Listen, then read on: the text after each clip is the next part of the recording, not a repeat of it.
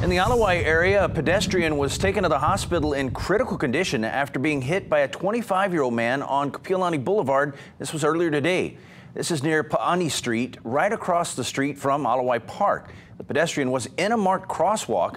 The driver was not injured. The crash closed two lanes of Kapiolani. Both have since reopened.